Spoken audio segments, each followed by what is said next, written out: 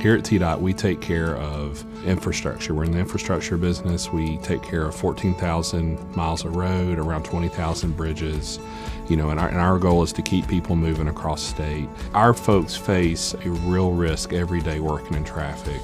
If we want to make sure they're getting very good training and that it's relevant and timely and getting to them as quickly as possible.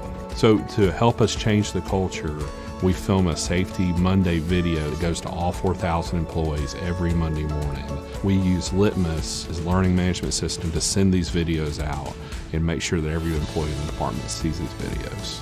So Litmos has helped TDOT in several areas. The velocity at which we onboard people is very, very important. In, in, the past, it's taken us maybe three to four months to onboard an employee. We want to increase the velocity of that, and Litmos is helping us do. We have a lot of executive communication, and the primary delivery method of that has previously been email.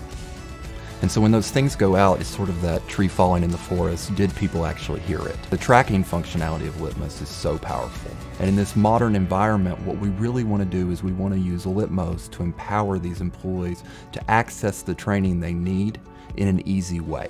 In our initial year of launch, we had 20,000 courses completed last year. We were able to see quite a bit of growth already this year through the second quarter.